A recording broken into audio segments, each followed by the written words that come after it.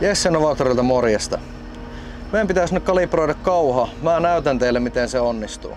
Eli ekana mennään täältä päävalikkoon. Sitten painetaan kalibroi kauha. Sitten sen jälkeen katsotaan toi kauha suoraan. Eka kallistus ja sitten katsotaan toi pyöritys. Ja... Eli nyt kun meillä on kauha suorassa, niin me voidaan sitten mennäkin ulos ja käydään mittaamassa kauhan mitat. Eli otetaan täältä leveysmitta.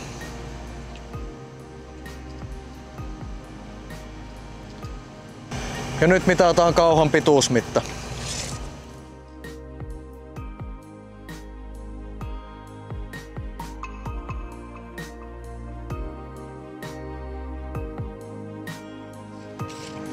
Sitten päästäänkin laittamaan ne tonne näytölle. Ja nyt syötetään mitat tänne näytölle.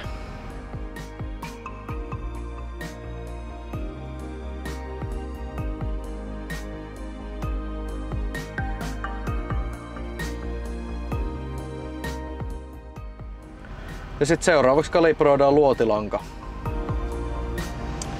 Otetaan luotilanka ja magneetti.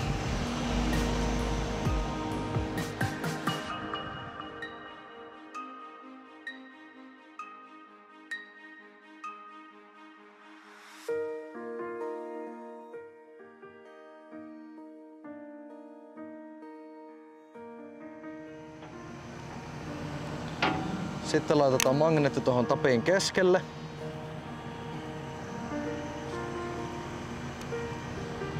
Noin.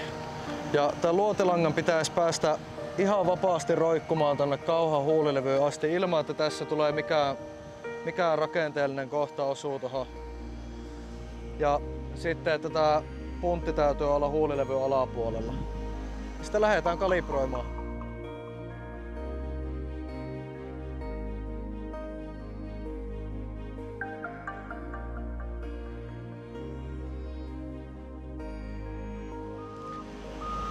No ja täällä nähdäänkin nyt, että toi kauhan huulilevy ihan vähän vaan hipoo tuota luotilankaa. Eli tää luotilanka pääsee nyt vapaasti roikkuu tuolta magneetista tonne alaspäin. Ja nyt me ollaan valmiita kalibroimaan luotilanka.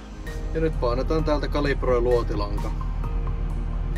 Ja nyt tuo keskimmäinen lukema kalibroitu tuli nollaksi. Sitten tarkastetaan kauhan kalibroinnin mittaustarkkuus. Eli mennään 2Dlle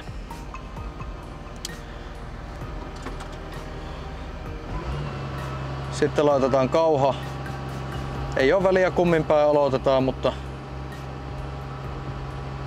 laitetaan nyt vaikka pohja maata myöten ja sillä että huuli osuu, osuu maahan silloin kun kauhan pohjaa maata myöten ja käydään merkkaamassa nyt tuo kohta.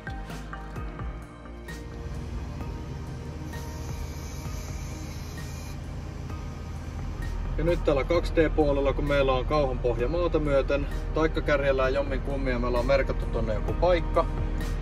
Voi ihan vapaasti käyttää ihan mitä vaan. Sitten syvyys- ja etäisyysnollaus.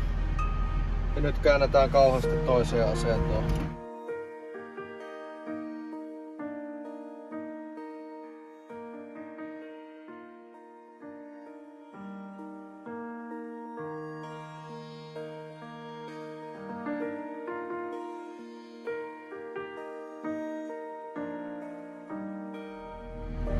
Joo ja nyt meillä on toi kauha auki asennossa ja nyt meillä näkyy tuolla näytöllä, että näkyy ihan nollaa, niin kauhan kalibrointi on ok.